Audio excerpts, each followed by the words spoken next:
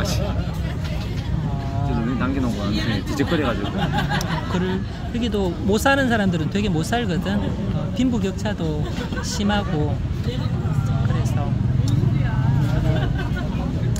일단은 또 먹어보자 먹자 먹고 일단 랍스타는 오면은 또 오는 대로 먹고 대충 찍었다.